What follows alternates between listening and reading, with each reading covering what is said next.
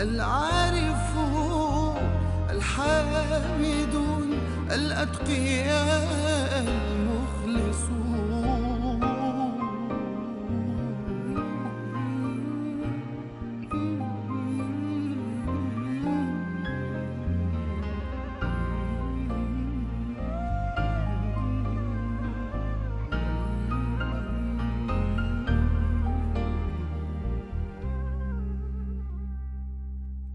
حلقة التابعي الجليل جعفر بن محمد بن علي ابن الحسين بن علي بن أبي طالب. في العصر العباسي كانت الدولة الإسلامية قد اتسعت ودخلت في الإسلام بلاد جديدة ونتيجة لذلك أصبح هناك العديد من العلوم الجديدة والكثير من طلاب العلم والكثير من العلماء أيضا.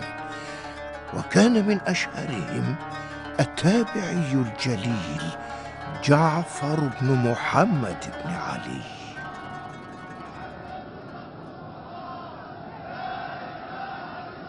أترى يا سفيان أعداد الحجاج في ازدياد كل عام. الحمد لله.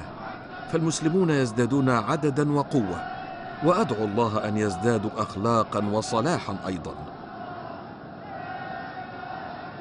آه، بما أننا في موسم الحج هناك أمر يشغلني يا جعفر. أمور كثيرة تشغلك يا ثوري وهذا شأن العلماء. ها فيما تفكر يا سفيان؟ للصوم ثواب عظيم. فلماذا يكره الصوم للحجاج؟ لأن الحجاج في ضيافة الله ولا يجب على الضيف أن يصوم عند مضيفه. بارك الله فيك وزادك من علمه. والله لقد أجبتني إجابة شافية كافية. إنما هي وجهة نظري في الأمر وهو في النهاية أمر من الله. فينبغي أن نلتزم بما أمرنا به سبحانه.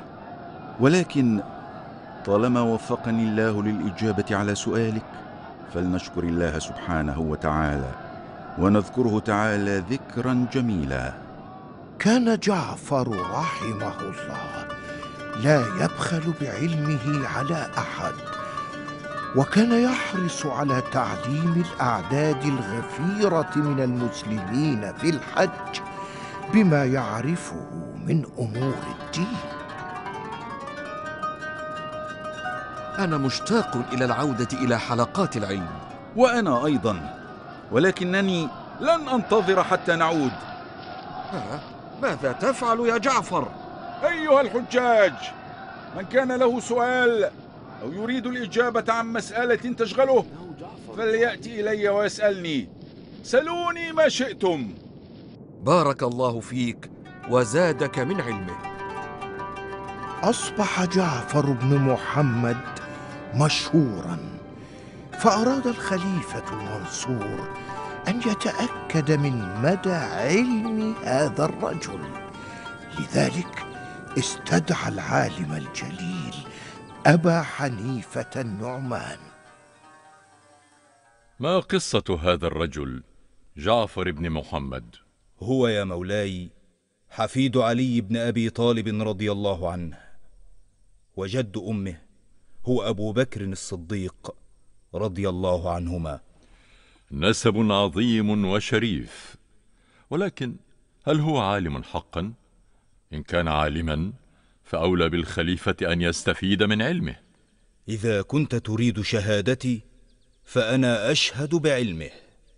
أما إذا كنت تريد أن تتأكد بنفسك فيمكنني أن أدعوه أمامك يا مولاي لتتأكد أعالم هو أم لا.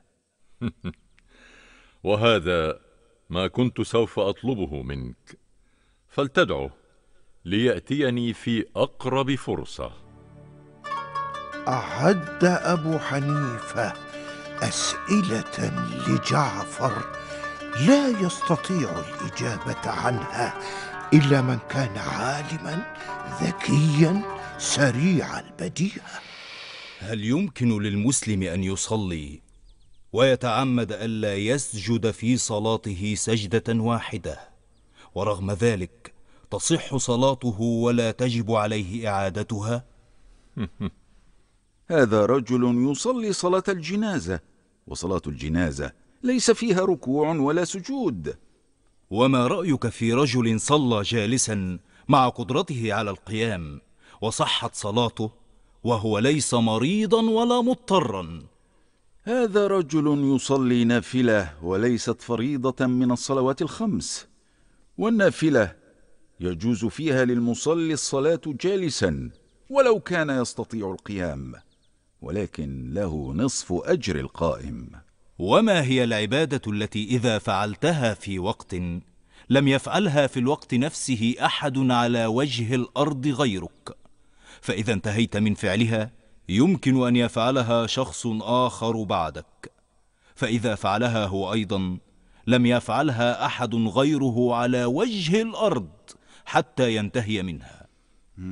هي تقبيل الحجر الأسود فلا يمكن لاثنين أن يقبلاه في نفس الوقت. استمر أبو حنيفة يسأل وجعفر يجيب حتى أتم أبو حنيفة أربعين سؤالا. أرجو أن تكون قد اطمأننت إلى سعه علم جعفر يا مولاي. بالطبع كدت أظلمه. هو عالم بلا شك. ولكن كما يحدث عادة للناجحين في الحياة. غار الكثيرون من حب الناس لجعفر واجتمع الوشاة الحاقدون حول الخليفة المنصور وقالوا له ما أغضبه جعفر.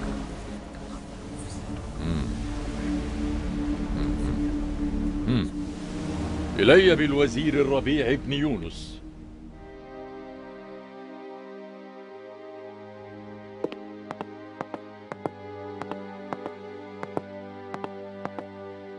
أمر مولاي. احضر لي جعفر بن محمد بن علي. لقد بلغني عنه ما أغضبني. أمر مولاي سيكون هنا في أسرع وقت. الخليفة غاضب للغاية. لا أدري ما الذي بلغه عنك.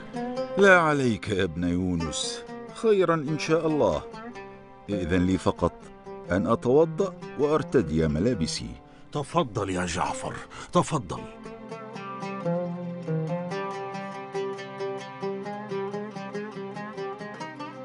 مولاي الوزير الربيع بن يونس والعالم جعفر بن محمد. أدخلهما. سأري جعفرا كيف يكون غضبي.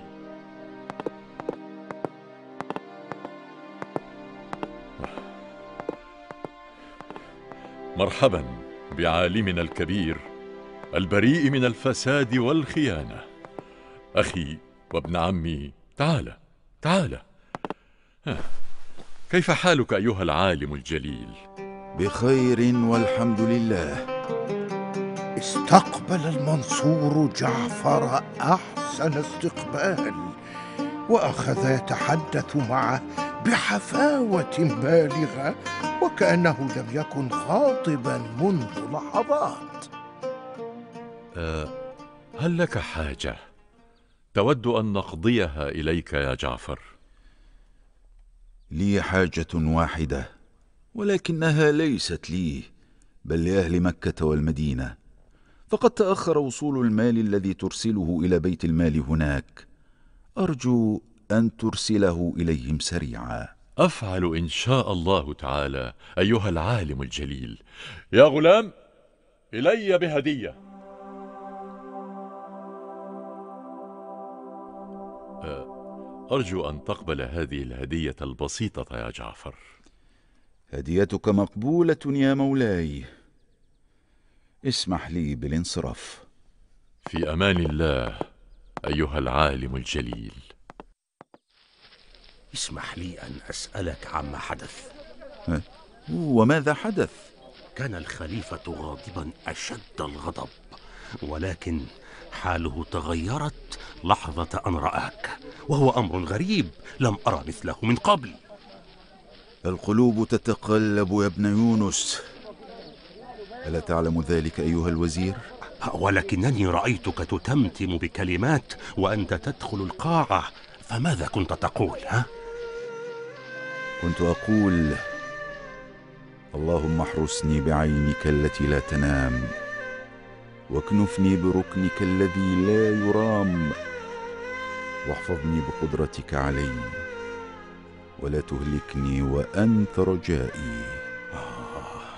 ما أروع هذا الدعاء وما أسرع استجابة الله لك. الحمد لله الحمد لله.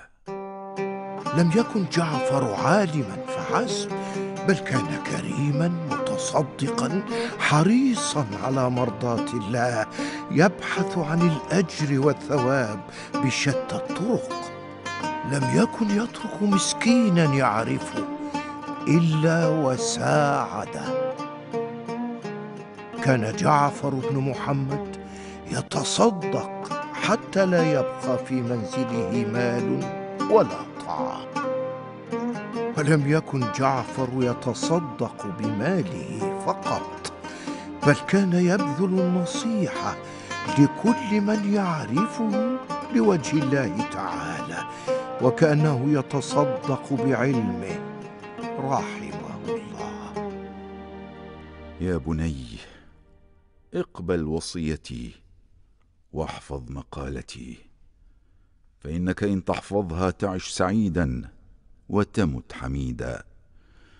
إذا رضيت بما قسمه الله لك من رزق وقنعت بما عندك ستصبح أغنى الناس. أما إذا نظرت إلى ما عند غيرك ولم ترض برزقك فستصبح فقيرا. ومن لم يرض بما قسم الله عز وجل له فهو يعترض على قضاء الله. فلا تكن من هؤلاء فتكون من الخاسرين. يا جعفر ألا تراني أصلي؟ هل يمكنك أن تخفض صوتك قليلا حتى لا تشوش علي في صلاتي؟ عذرا يا سفيان. اغفر لي هذا الخطأ. لا عليك. أعرف أنك لم تنتبه. سأذهب للصلاة في مكان آخر حتى تتكلما كما تريدان. قل لي يا سيدي من أحب أصدقائك إليك وأقربهم إلى قلبك؟ من كان مثل سفيان الثوري من يواجهني بأخطائي وعيوبي فهذا هو الصديق الحقيقي الذي يحبني ويريد لي الخير في الدنيا والآخرة. هكذا كان جعفر الذي لقبه الناس بالإمام الصادق عالما عاملا يستفيد من الآخرين. ويقبل نصحهم ويفيد الجميع بعلمه حتى توفاه الله جل وعلا سنة ثمان وأربعين ومائة وهو ابن ثمان وستين سنة رحمه الله تعالى.